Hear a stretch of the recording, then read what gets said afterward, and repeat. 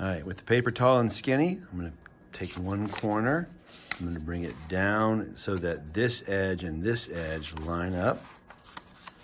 Takes a little practice and you want it to be a point right there. Straight up and down. Doesn't have to be perfect. All right, and then this extra rectangle part here, I don't need. So I'm going to cut right along the edge there. Now this piece we're gonna use later, so don't throw it away. Just move it out of the way.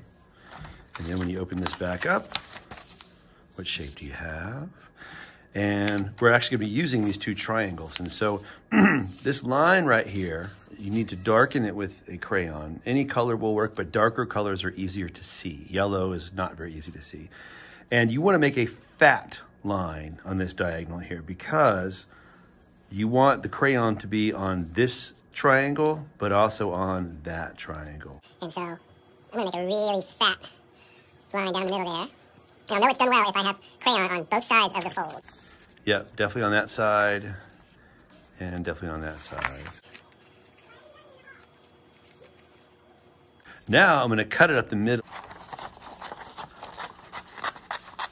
Now we have two, but we only need one, so I'll move this one out of the way. Now we're gonna lay it like the letter L. You see that makes an L there with your color showing. And then I'm gonna take the whole thing and I'm gonna flip it over. So now it's a backwards L. What did I do? I took the L with the color on it and I just flipped it the other way, okay? And now I'm gonna lay a pencil across the bottom and you just kind of pick up this edge here and I'm gonna roll it up and it takes some practice. The tighter it is, the better. And if you start going kind of over here too much, that, that's not the way it's supposed to be. So I'm gonna back it up. You really want this to follow the line all the way up. There we go. See how it's staying with the line? You can adjust it as you need to. I need to adjust that a little bit. Let the pencil slide out. If it's too tight, you can let it loosen your hand a little bit. The pencil comes out. And there you go. Now I'm gonna glue it. However, see that big nasty thing right there? That's somebody else's glue they left on the table. So I'm gonna take that rectangle we talked about earlier and I'm gonna put this over the rectangle. And that way, when I glue, it's gonna go on the paper and not on the table. And I'm just gonna take that and roll it over. And I have myself a candy cane. No, a screw. And once you put that glue on there and you roll it on with the glue, you wanna hold it for a good five seconds or longer. You can even push it down flat if you need to. Just hold it on there so it has time to dry. And then you can curl it back around like that.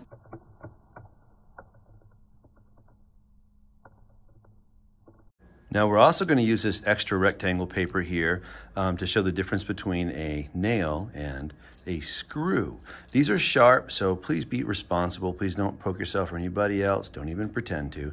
Um, however, um, we're going to poke the paper. And the trick to it is you just want to make a V with your two fingers here, and you want to poke between. And there you go. See how the nail goes in and out, right? And then with the screw, the same thing, except I'm only gonna poke the little tip part through, not all the way. Again, I've got my two fingers apart like that. I'm gonna just gently, just a tiny little hole there. I'm gonna put that in there. And now instead of pushing, I'm gonna twist. Just twisting. And you'll see on the other end, do, do, do, do, do. Now it takes longer, but it's really easy. It takes very little force. And then how do I get it back out? Lefty loosey to the left, and you can actually watch it come undone. And then righty tighty. Now, if I try and pull this one out, it's gripped on there really well, as opposed to the nail, which slides in and slides out. So, if you're in a hurry, stick a nail in it. but if you have the time, put a much stronger screw in and turn it so that it grips and lasts much longer.